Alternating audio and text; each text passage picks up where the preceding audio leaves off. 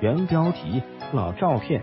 河南洛阳，一九八三年，曾经的老城区街景。老城区位于洛阳市城市区中东部和北部，是洛阳最早的建成区，是洛阳市六大主城区之一，也是全市的经济、文化、商贸中心。一九四八年洛阳解放前，老城的城区基本保留了公园。一二一七年今。在洛阳设金昌府时的建筑格局，老城之名由此而来。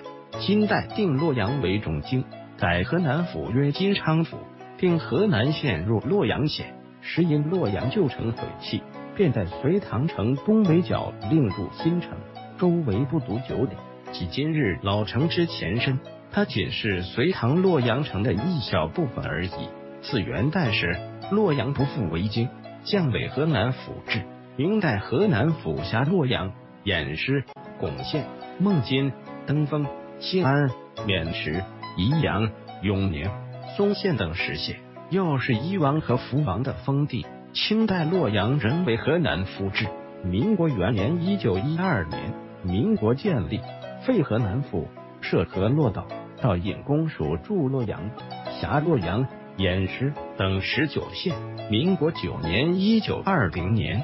直系军阀吴佩孚盘踞洛阳，在洛阳设置了两湖巡阅使公署和陆军第三师司令部。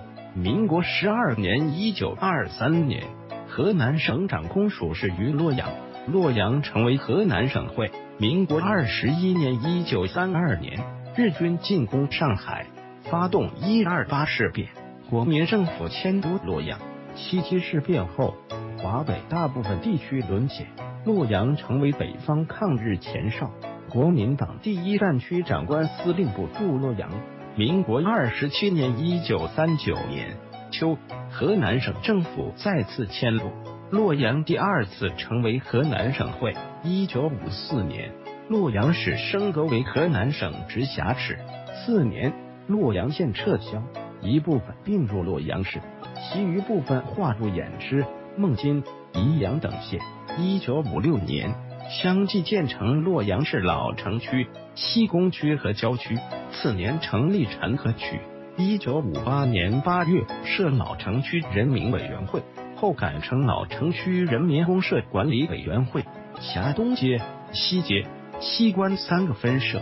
幺九五八年十二月，老城区、西工区合并为洛北区人民公社管理委员会，增设西工分社。